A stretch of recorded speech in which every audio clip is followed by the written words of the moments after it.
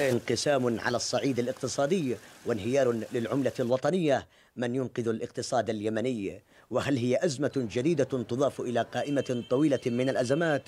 تسببت بها ميليشيات الحوثي وتجرعها اليمنيون طيلة خمس سنوات. وقد لا يكون آخرها منع تداول أوراق العملة النقدية الجديدة في المناطق الخاضعة لسيطرتها وما يترتب على ذلك من تضارب في أسعار الصرف والحوالات النقدية التي ارتفعت معها عمولة المليون ريال يمني إلى ستين ألف ريال في مناطق الشرعية فيما وصل الريال إلى 600 مقابل الدولار الواحد علاوة عن توقف معظم الصرافين عن إرسال واستلام الحوالات من وإلى مناطق الميليشيا. السبب الأول والأخير أن إدارة كل الشركات شركات محلات الصرافة مرتبطة بالعاصمة صنعاء حيث يقدر الحوثي يتحكم فيها في أي وقت شاء. حتى أن الصرافة يعني صرف الريال السعودي اليوم في صنعاء 150 ألف في مناطق الشرعية تجاوز ال 165 ألف.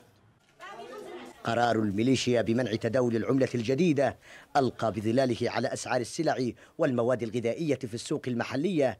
ليس فقط في صنعاء الخاضعة للميليشيا بل الحال ذاته أيضا في مناطق الشرعية بخاصة في محافظة الجوف حيث تشهد أسواقها ارتفاعا ملحوظا في أسعار المواد الغذائية المختلفة فيما يرجع التجار ذلك لأسباب من بينها ارتفاع صرف العملات الأجنبية مقابل العملة الوطنية. أكيد في ارتفاع الأسعار إنه تضطر لما تشتري بضاعة من صنعاء تضطر تشتري بالعمله القديمه والعمله القديمة ما ما عندهم ما بش. تضطر الحوالات تحول على المليون على المليون مثلا على المليون 70000 ويدي هذا إلى ارتفاع الأسعار. والضحيه هو المواطن هنا ولا هنا. يكتوي اليمنيون بنار الأزمات والكوارث التي تحاصر معيشتهم اليومية ومستقبلهم منذ نصف عقد من الحرب والمجاعة والأمراض والأوبئة الفتاكة التي جاءت بها ميليشيا الحوثي وأغرقت اليمنيين في فصولها القاسية. علي الجرادي قناة بلقيس الجوف.